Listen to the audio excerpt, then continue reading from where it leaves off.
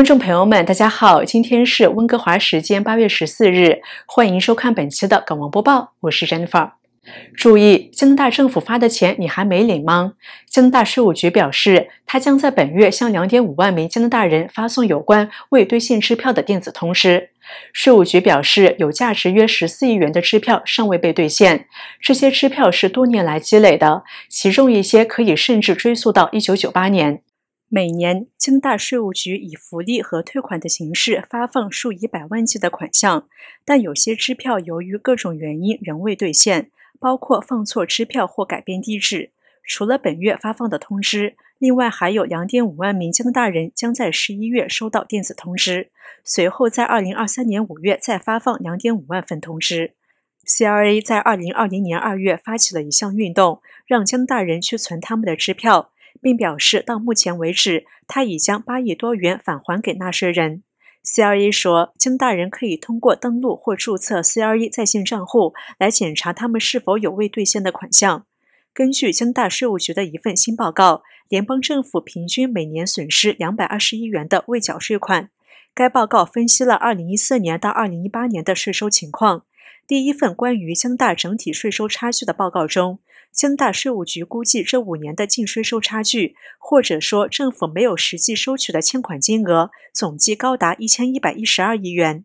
虽然在这段时间里，未收税款的数额呈上升趋势，估计二零一八年高达两百三十四亿元，二零一七年为两百三十五亿元，但该比例每年都保持稳定，占联邦整体税收的百分之九。报告说，个人所得税的缺口每年达八十四亿至一百零六亿元，占个人所得税总收入的百分之五到百分之八。这一数额包括未缴税款、隐藏的海外收入和与地下经济有关的不合规行为。这一分析不包括非法活动。但是，CRA 认为个人所得税系统在很大程度上是税收保障，这意味着他预计不遵守规定的风险很低。同时，公司税收的缺口估计在每年四十六亿到七十三亿元之间，占该类别预期收入的百分之十到百分之十七。报告说，与大公司有关的不合规行为是最重要的因素，而中小型企业则不那么突出。报告还发现，每年有百分之八到百分之十的统一销售税的预期收入没有支付，平均约为三十九亿元。在消费税系统中，每年有四亿到五亿元的较少数额未支付，主要是由非法香烟生产造成的。尽管消费税许可证持有人和注册人的违规行为非常少，CRA 说，在报告涵盖的五年中，合规和征收工作收回了额外的七百二十四亿元，否则将无法支付。该机构补充说，尽管故意逃税、未报告收入和多报税款抵免占未收税款的一部分，但无意的错误和无知也在发挥作用。联邦新民主党对 CRE 的统计数据作出反应，呼吁自由党在打击避税方面做得更好，指责政府对海外避税的视而不见。很快，现在被称为猴痘的病毒将被改名。世界卫生组织 （WHO） 正在寻求公众的帮助，以重新命名该病毒。世卫组织正在就猴痘的新名称进行公开磋商。该组织在一份声明中说：“该疾病于1958年首次被发现时得名猴痘。然而，猴痘现在将更名，避免对文化、社会、国家、地区、专业或种族群体造成冒犯。”并将对贸易、旅行、旅游或动物福利的负面影响降至最低。最近，该组织宣布，一组全球专家已就猴痘病毒变种的新名称达成一致。这些变体现在将被称为 Clade I、Clade IIA 和 Clade IIB，后两个指的是今年已经流行的一组变体。自五月以来，该病毒已在多个国家报告，大部分已知确诊病例都有前往欧洲和北非地区的旅行史。七月二十三日，猴痘被世卫组织宣布为突发公共卫生事件。截至八月十二日，加拿大目前有一千零五十九例确诊病例。牛省也在八月十二日宣布了首例确诊病例。据世界卫生组织称，大多数报告的病例是通过初级或二级卫生保健机构的性健康或其他卫生服务机构确定的，主要但不仅限于男男性行为者。加拿大公共卫生部表示，正在与世卫组织合作监测情况。没有及时报税的后果有多严重呢？当大温居民 Helen Ward 像往常一样打开来自省府的信件时，心跳几乎停止了。上面赫然写着要求他支付新的投机和控制税，共计约两点七五万加元。Helen Ward 感到不可思议，因为他常年住在自己本拿比的家中，并且一直免交投机控制税。据温哥华太阳报报道，Helen Ward 从2001年起就居住在本拿比，并且一直有人同住。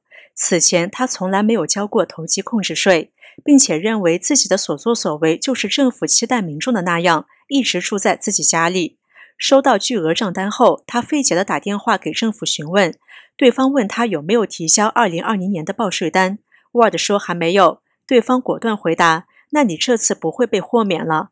”Word 表示自己可以立刻补交，但对方回应已经太晚了。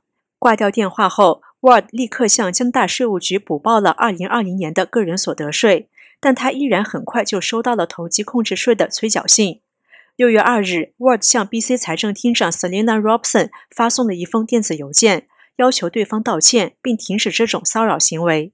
在邮件中，Ward 还提出了质疑：投机控制税是 BC 省的税种，而报税是向加拿大税务局申报个人所得税。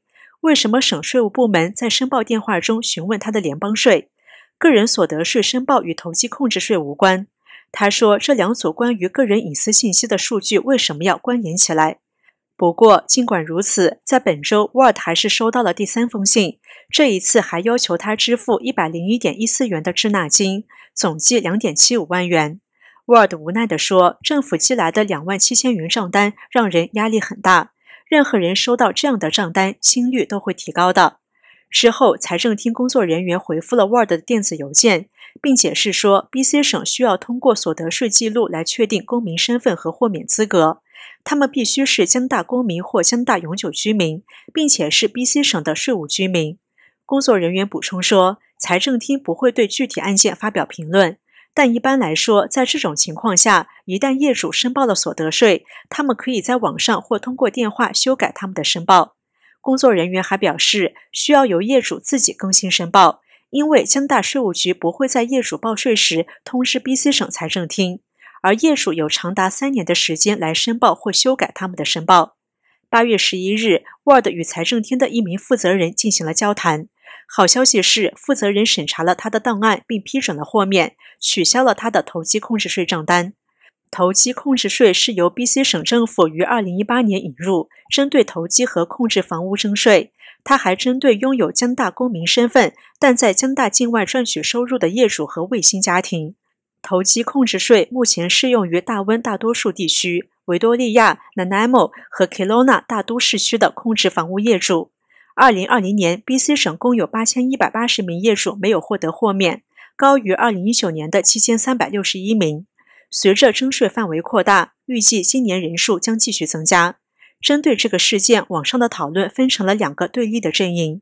一些人认为 Word 不值得同情，因为报税是每个市民的责任，甚至觉得支持 Word 的人都是平时不守规矩的人。